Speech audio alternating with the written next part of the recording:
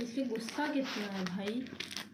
बेटा, ये तो टॉफी ये देखो। हाँ, हाँ ये तो खा लेगी मेरा हाथ। ही